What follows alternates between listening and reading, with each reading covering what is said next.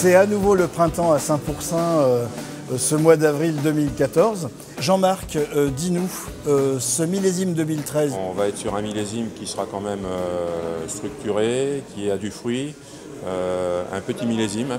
Quand Jean-Marc vous dit un petit millésime, c'est qu'il y a eu peu de jus dans les vignes, hein, c'est ça C'est du 31 ah. hecto-hectares, c'est ça Oui, c'est ça, hein, c'est rare. Hein. C'est dû à des conditions euh, météo un peu particulières.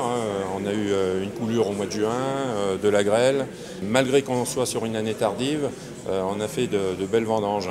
Et derrière, donc, on a pu faire, j'irais, des, des belles cuvées.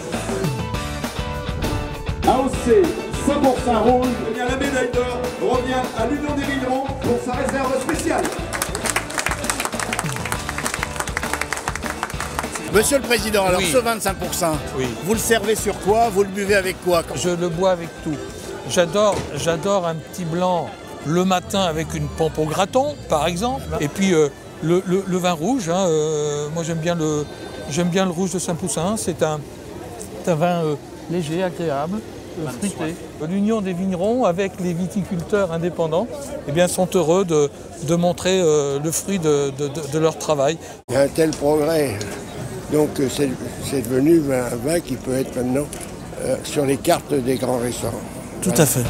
Laurent, c'est bien de voir des jeunes vignerons comme toi qui viennent donner un peu de peps à cette, cette appellation et alors montre-nous là, qu'est-ce que c'est que cette bouteille que tu tiens à la main Alors ceci c'est une bouteille de blanc premier 2013, donc qui est une médaille de bronze à Paris euh, au concours général.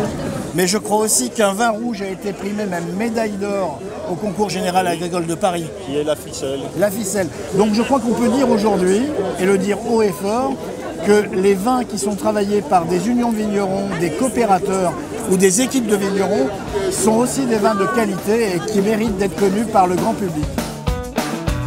Nous sommes à l'Union des vignerons de Saint-Pourçain sur Sioule. C'est à peu près 80 vignerons 80 vignerons, ça, représente 50 exploitations.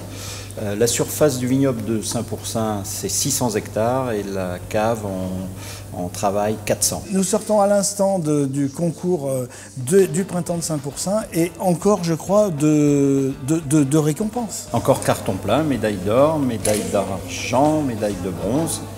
Euh, sur les rouges, les blancs ont été récompensés et les méthodes traditionnelles. Sylvain, sur la façon de travailler euh, les cuvées, la façon de faire le, vin, vous avez des, caractéristiques particulières Ce qui est un peu original chez nous, c'est qu'on est ce qu'on appelle une coopérative en apport total. Ça veut dire que les vignerons amènent la totalité de leur récolte chez nous. Mmh. Donc on connaît nos parcelles, on connaît nos vignes comme un très gros producteur.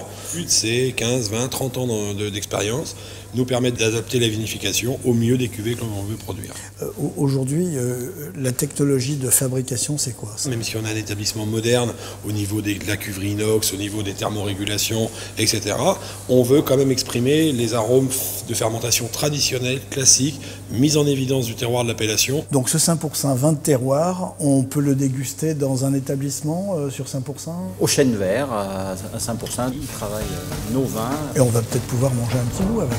Eh ben, bien sûr. Là, je suis en train de préparer la fameuse andouillette Dromard de 5%, qui, qui est connue, reconnue dans le monde entier par les plus grands. Domaine de la Croix d'Or de l'Union des Vignerons, on est sur un millésime 2012. Alors, sur cette petite euh, andouillette, on a, on a, un joli vin blanc avec un nez d'agrumes, hein, on a des choses sympathiques. on est sur un vin qui est magnifique, il est éclatant, des reflets verts. On, on a en bouche ce côté frais, vif, mais avec une petite pointe de gras qui, nous emplit le palais. Bon alors, voilà le moment crucial. Alors,